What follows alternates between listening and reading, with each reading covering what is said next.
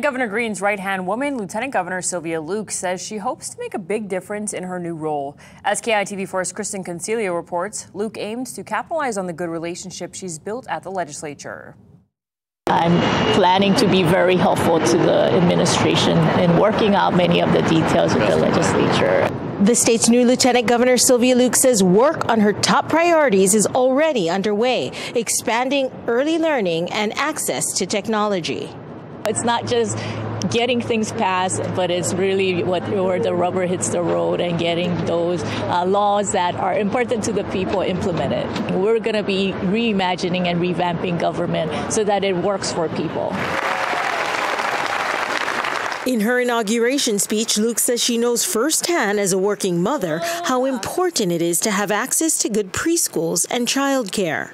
It is a cost of living issue for so many of us who cannot afford steep tuitions for the few coveted preschool seats. She also recalled the hardships of not having modern technology during the height of the COVID pandemic, when thousands were laid off and couldn't get unemployment.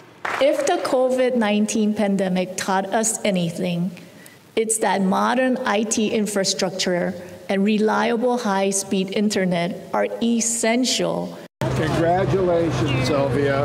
After years in the legislature, Luke says she's looking forward to working with Green and lawmakers in a different role to get things done.